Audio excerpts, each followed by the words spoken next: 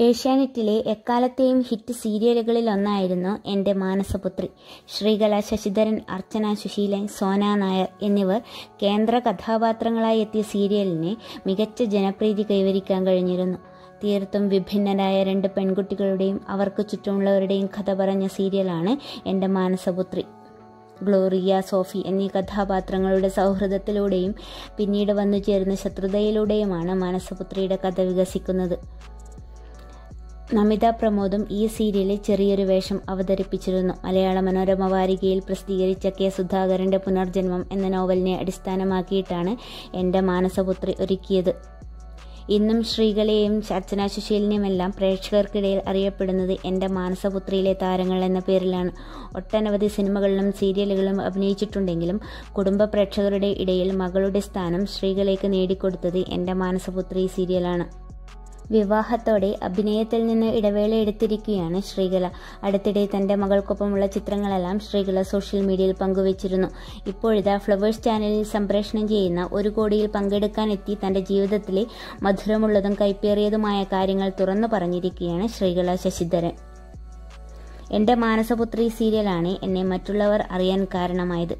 കരിയറിൽ ബ്രേക്കായത്. അമ്മയുടെ മരണത്തിന് ശേഷം വലിയ രീതിയിൽ വിഷാദത്തിലേക്ക് പോയി. മെന്റലി ആകെ തകർന്നു പോയ അവസ്ഥയിലായിരുന്നു.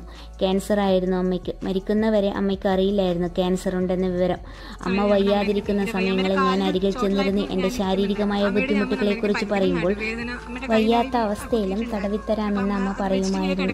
അങ്ങനെ ഇനി ഒരാളും പറയില്ല. ചെയ്തു തരേണ്ടെന്ന് പറഞ്ഞാലും വയ്യാത്ത അവസ്ഥയിലും അമ്മ തനിക്ക് വിധം ചെയ്തു തരുമായിരുന്നു അതുപോലെ തന്നെ ഒരു സീരിയലിൽ അഭിനയിച്ചു കൊണ്ടിരിക്കുമ്പോൾ ഞാൻ ഗർഭിണിയായി. ആ സമയത്ത് ആ സീരിയൽ പോപ്പുലറായി വരികയായിരുന്നു. ഞാൻ ഗർഭിണിയാണെന്ന് അറിഞ്ഞപ്പോൾ സംവിധായകനും അണിയറ പ്രവർത്തകരും കുഞ്ഞിനെ അബോർഷൻ ചെയ്യാൻ നിർദ്ദേശിച്ചു. അത് അന്ന് വലിയ വേദന ഉണ്ടാക്കിയ സംഭവമായിരുന്നു ശ്രീകല പറഞ്ഞു. കണ്ണൂറുകാരിയായ ശ്രീകല കലോത്സവ വേദികളിലെ മിന്നും താരമായിരുന്നു. അഭിനയത്തിന് പുറമെ മ്യൂസിക്കിലും വാസനയുള്ള നടിയാണ് ശ്രീകല. രണ്ടായിരത്തി പന്ത്രണ്ടിലാണ് ശ്രീകല സുഹൃത്ത് വിപിനെ വിവാഹം ചെയ്തത്. ആ ബന്ധത്തിൽ രണ്ട് മക്കളും ശ്രീകലയ്ക്കുണ്ട്. അടുത്തിടെയാണ് ശ്രീകലയ്ക്ക് ഒരു മകൾ കൂടി ജനിച്ചത്. ഭർത്താവിനൊപ്പം ഏറെ നാൾ യു കെയിലെ ഹോർഷാമിൽ താമസിക്കുകയായിരുന്നു ശ്രീകല. പിന്നീട് ഭർത്താവിന്റെ ജോലിയുമായി ബന്ധപ്പെട്ട് കേരളത്തിലെത്തി. ഇപ്പോൾ തിരുവനന്തപുരത്താണ് താമസിക്കുന്നത്.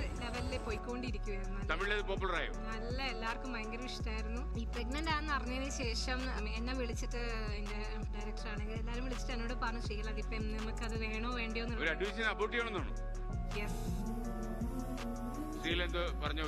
ഞാൻ